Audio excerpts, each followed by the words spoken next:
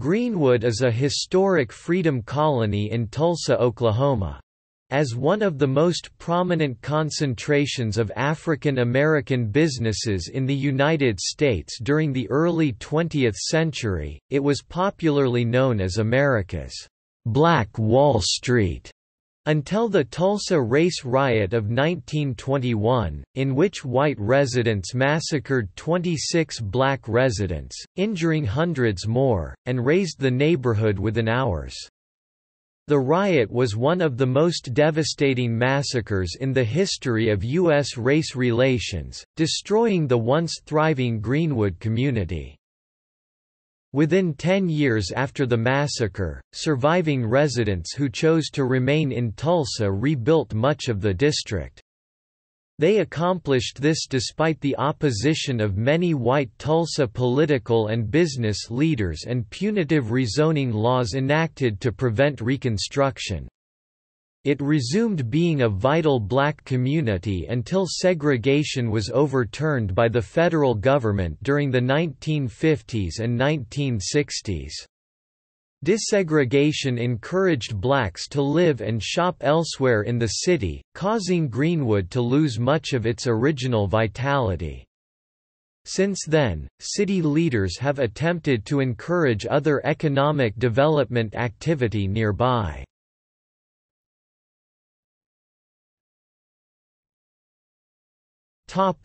History.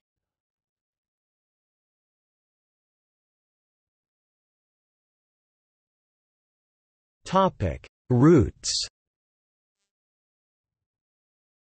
Many African Americans began moving to Oklahoma for the land rushes 1889 through 1891 and continued in the years leading to 1907, the year Oklahoma became a state, hoping that a majority black population could build a firewall against further extension of the system of racial degradation and segregation known as Jim Crow. Oklahoma represented the hope of change and provided a chance for African Americans to not only leave the lands of slavery but oppose the harsh racism of their previous homes. Traveling from other states Oklahoma seemed to offer these people a chance to start over. They traveled to Oklahoma by wagons, horses, trains, and even on foot. Many of the black Americans who traveled to Oklahoma had ancestors who could be traced back to Oklahoma. Many of the settlers were relatives of Native Americans who had traveled on foot with the five civilized tribes along the Trail of Tears. Others were the descendants of people who had fled to Native American territory. Many black residents were also from the various Muskogee-speaking peoples, such as Creeks, Seminoles, and the Yuchi, while some had been adopted by the tribe after the Emancipation Proclamation. They were thus able to live freely in the Oklahoma Territory. When Tulsa became a booming and rather well known town in the United States, many people considered Tulsa to be two separate cities rather than one city of united communities. The white residents of Tulsa referred to the area north of the Frisco Railroad tracks as Little Africa. The success there led Booker T. Washington to visit in 1905 during which he encouraged them to continue to build and cooperate among themselves, reinforcing what he called, "...industrial capacity", and thus securing their ownership and independence. Washington highlighted that he had directed the creation of a 4,000-acre totally black-owned district in Tuskegee under the direction of C. W. Green and designated Greenwood when it was formally organized in 1901 to create a demonstration of his vision. The Tulsa community was formally organized in 1906 and took the name Greenwood. By 1921 it was home to about 10,000 black residents. Greenwood Avenue in Tulsa was important because it ran north for over a mile from the Frisco Railroad yards, and it was one of the few streets that did not cross through both black and white neighborhoods. The citizens of Greenwood took pride in this fact because it was something they had all to themselves and did not have to share with the white community of Tulsa. Greenwood Avenue was home to the Black American Commercial District with many red brick buildings. These buildings belonged to black Americans and they were thriving businesses, including grocery stores, banks, libraries, and much more. Greenwood was one of the most affluent communities and it became known as Black Wall Street.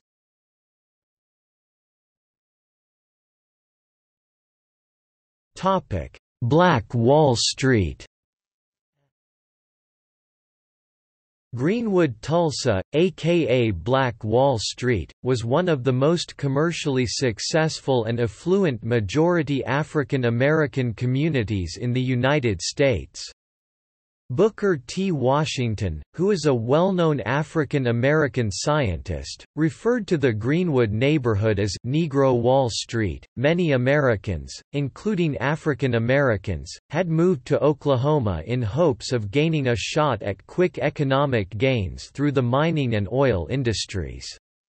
Even though blacks were only a small percentage of the overall population in Oklahoma, the percentage of African Americans in Tulsa had significantly increased to around 12.3% during the oil boom. Many African Americans had come from the Deep South and Kansas because of the opportunity to strike gold because of the rich oil fields. Even though Jim Crow laws and other racially biased laws were in place to inhibit African Americans from achieving economic mobility and social status, racial segregation helped African Americans in Tulsa because Black Wall Street was one of the few neighborhoods where blacks were even allowed to gain and spend their money. During the Jim Crow era, African Americans were not allowed to make purchases or services in predominantly white areas. In particular, Oklahoma was known to have some of the harshest and most unjust Jim Crow laws in the country as there were countless lynching parties in Oklahoma and whipping parties, which were social gatherings where white people would whip black people for entertainment purposes. This forced many blacks to spend their money where they would feel welcomed, which allowed the Greenwood community to flourish and prosper.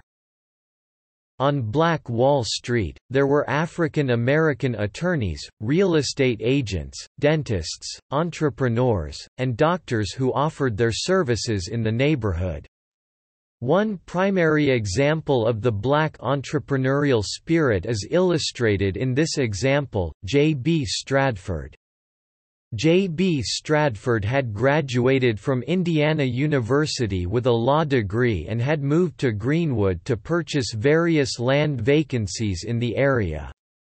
After buying these vacant spaces, he would then sell them to African American residents for redevelopment so that these empty spaces could be transformed into residential houses and profitable businesses. By 1921, Stradford had been considered one of the wealthiest African Americans in the country as he owned numerous properties in Greenwood and even had his hotel named after him, Stradford Hotel. In addition to Mr. Stradford, there were also investment and reinvestment into the community. One executive of the local YMCA recalled that there were several barber shops, several grocery stores, and even a funeral home service. Not to mention, Greenwood was known to be an active religious community as there were numerous black-owned churches, Christian youth services, and other religious organizations. OW. Gurley Around the start of the 20th century OW. Gurley, a wealthy black landowner from Arkansas, came to what was then known as Indian Territory to participate in the Oklahoma Land Run of 1889. The young entrepreneur had just resigned from a presidential appointment under President Grover Cleveland in order to strike out on his own. In 1906, Gurley moved to Tulsa, Oklahoma, where he purchased 40 acres of land which was only to be sold to colored. Among Gurley's first businesses was a rooming house which was located on a dusty trail near the railroad tracks. This road was given the name Greenwood Avenue, named for a city in Mississippi. The area became very popular among black migrants fleeing the oppression in Mississippi. They would find refuge in Gurley's building, as the racial persecution from the South was non-existent on Greenwood Avenue. In addition to his rooming house, Gurley built three two-story buildings and five residences and bought an 80-acre farm in Rogers County. Gurley also founded what is today Vernon AME Church. This implementation of colored segregation set the Greenwood boundaries of separation that still exist Pine Street to the north, Archer Street and the Frisco Tracks to the south, Cincinnati Street on the west, and Lansing Street on the east. Another black American entrepreneur, J. B. Stradford, arrived in Tulsa in 1899. He believed that black people had a better chance of economic progress if they pooled their resources, worked together and supported each other's businesses. He bought large tracts of real estate in the northeastern part of Tulsa, which he had subdivided and sold exclusively to other blacks. Gurley and a number of other blacks soon followed suit. Stradford later built the Stradford Hotel on Greenwood, where blacks could enjoy the amenities of the downtown hotels who served only whites. It was said to be the largest black-owned hotel in the United States. Gurley's prominence and wealth were short-lived. In a matter of moments, he lost everything. During the race riot, the Gurley Hotel at 112 N Greenwood, the street's first commercial enterprise, valued at $55,000, was lost, and with it Brunswick Billiard Parlor and Doc Eastmond and Hughes Café. Gurley also owned a two-story building at 119 N Greenwood. It housed Carter's barber shop, Hardy Rooms, a pool hall, and cigar store. All were reduced to ruins. By his account and court records, he lost nearly $200,000 in the 1921 race riot.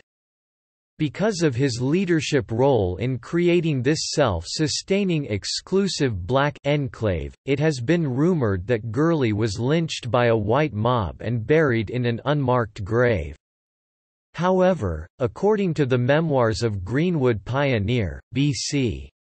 Franklin, Gurley left Greenwood for California. Whichever version is true, the founder of the most successful black community of his time drifted into obscurity and almost vanished from history. He was honored in a 2009 documentary film called, Before They Die. The Road to Reparations for the 1921 Tulsa Race Riot Survivors.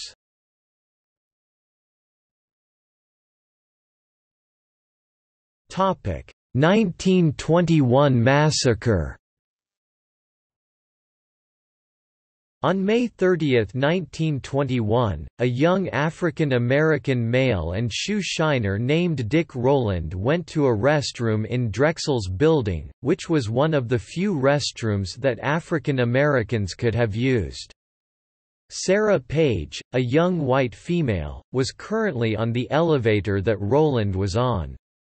Next, many sources claimed that Page screamed, rape and then proceeded to run off. Page claimed that Rowland sexually assaulted her without any sufficient evidence. For many news media sources in the area, this was the perfect opportunity to create a juicy storyline.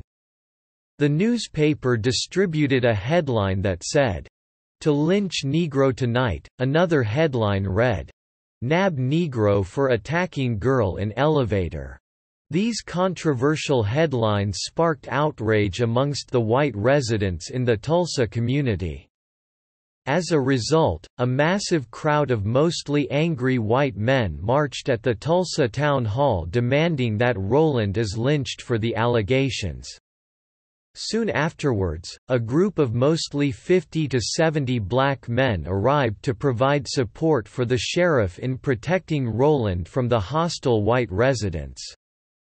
J. B. Stradford and several other influential black residents began to create their counter-response to the angry white mob by offering their support to the white sheriff in protecting Rowland. After arriving, a verbal dispute broke out where a white resident threatened to take one of the black male's rifle by calling him several derogative words.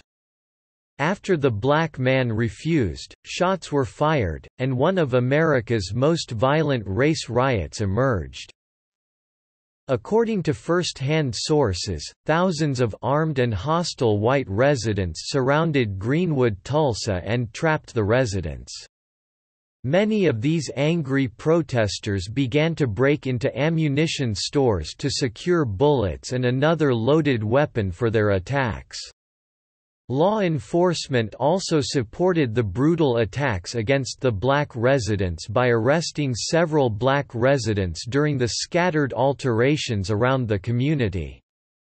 In response to the large white mobs, the black residents began forming defense lines near the Frisco Railroad lines, which served as the boundary between the segregated black and white communities in Tulsa and began to exchange firepower with the organized white mobs.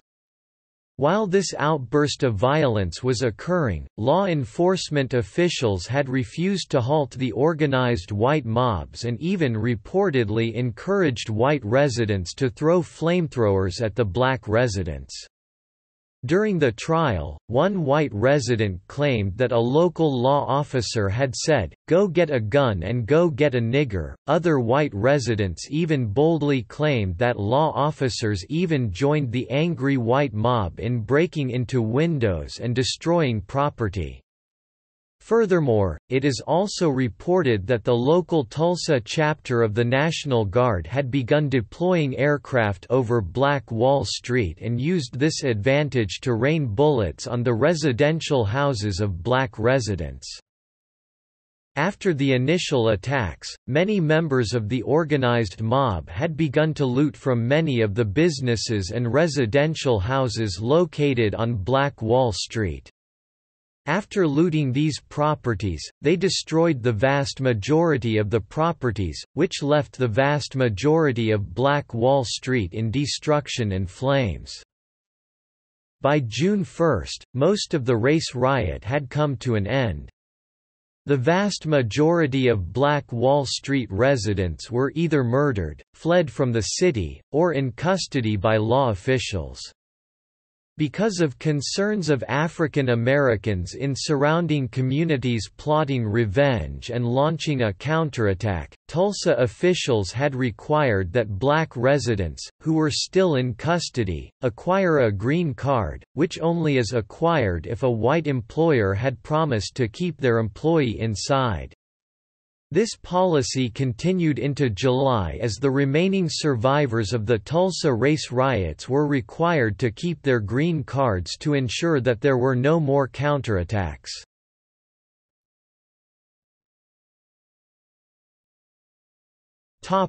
Foundation of resentment When evaluating the prosperity of Black Wall Street, one angle to take into consideration is this perceived threat to the status quo and how this perceived threat may have eventually led Black Wall Street to its ultimate demise. According to sociologists, when the dominant status quo feels threatened, there always is resentment or backlash against the minority group. In the specific example of Greenwood, Oklahoma, this perceived economic threat led to the eventual downfall of Black Wall Street. For instance, many white residents felt intimidated by the growth and expansion of Black Wall Street. Not only was Greenwood, Tulsa expanding in population growth but it was also expanding its physical boundaries, which eventually collided with the boundaries of white residents. According to several newspapers and articles at the time, there were reports of hateful letters sent to prominent business leaders within Black Wall Street, which demanded that they stop overstepping their boundaries into the white segregated portion of Tulsa. Paradoxically, the economic success and prosperity of Black Wall Street also contributed to its eventual downfall as white residents grew increasingly frustrated and anxious of the wealth of the Greenwood community. Although white Americans enacted acts of violence against blacks frequently in the early 20th century, there was no justification until an allegation surfaced about an African American male allegedly assaulting a white woman.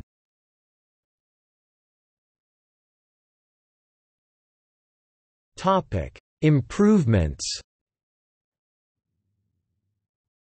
Revitalization and preservation efforts in the 1990s and 2000s resulted in tourism initiatives and memorials. John Hope Franklin Greenwood Reconciliation Park and the Greenwood Cultural Center honor the victims of the Tulsa Race Riot, although the Greenwood Chamber of Commerce plans a larger museum to be built with participation from the National Park Service. In 2008, Tulsa announced that it sought to move the city's minor league baseball team, the Tulsa Drillers, to a new stadium, now known as Oneok Field to be constructed in the Greenwood district. The proposed development includes a hotel, baseball stadium, and an expanded mixed-use district. Along with the new stadium, there will be extra development for the city blocks that surround the stadium. This project will bring Greenwood Historical District out front and center and attract not only tourists but also Tulsa residents to North Tulsa.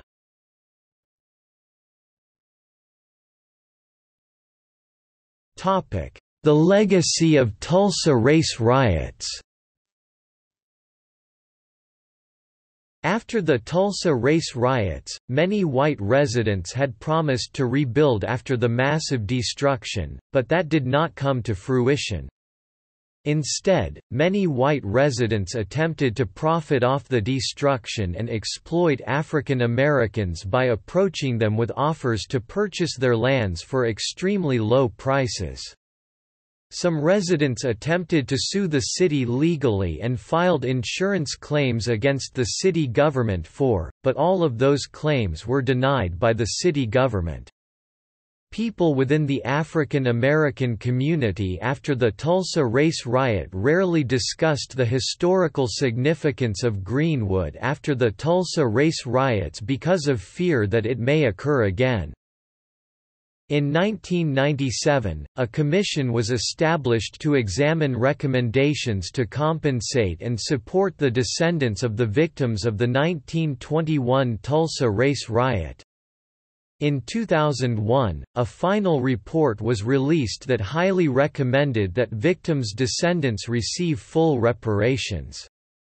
Alfred Brophy, an American legal scholar, outlined four specific reasons why survivors and their descendants should receive full compensation. The damage affected African American families, the city was culpable, and city leaders acknowledged that they had a moral responsibility to help rebuild the infrastructure after the race riot.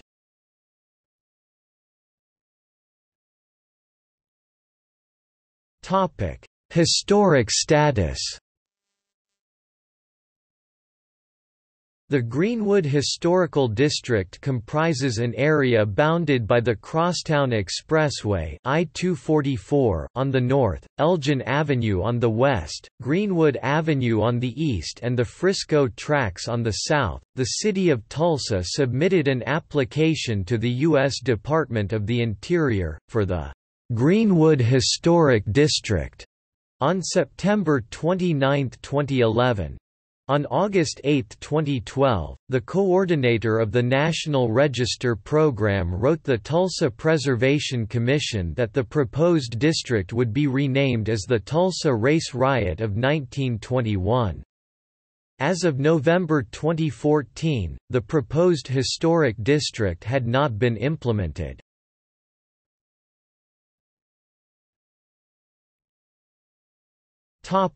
Landmarks.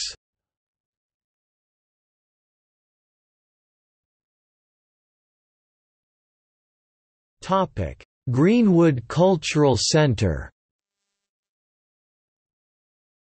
The Greenwood Cultural Center, dedicated on October 22, 1995, was created as a tribute to Greenwood's history and as a symbol of hope for the community's future. The center has a museum, an African American art gallery, a large banquet hall, and housed the Oklahoma Jazz Hall of Fame until 2007. The total cost of the center was almost $3 million. The Cultural Center is a very important part of the reconstruction and unity of the Greenwood Historical District. The Greenwood Cultural Center sponsors and promotes education and cultural events preserving African American heritage. It also provides positive images of North Tulsa to the community, attracting a wide variety of visitors, not only to the center itself, but also to the city of Tulsa as a whole. In 2011, the Greenwood Cultural Center lost 100% of its funding from the state of Oklahoma. As a result, the center may be forced to close its doors.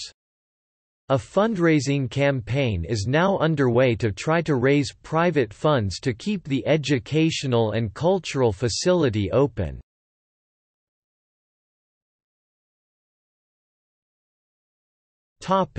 John Hope Franklin Reconciliation Park Ground was broken in 2008 at 415 North Detroit Avenue for a proposed reconciliation park to commemorate the 1921 Tulsa race riot. John Hope Franklin, son of B.C. Franklin and a notable historian, attended the groundbreaking ceremony.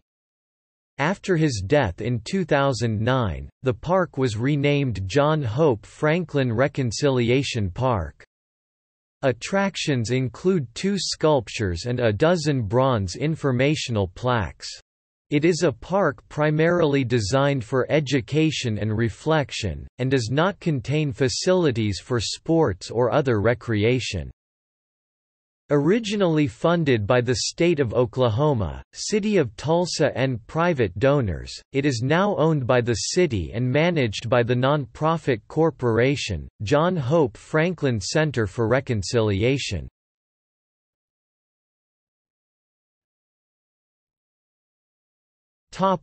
See also African American history Ethnic enclave. History of Tulsa, Oklahoma. Langston University. Oklahoma State University Tulsa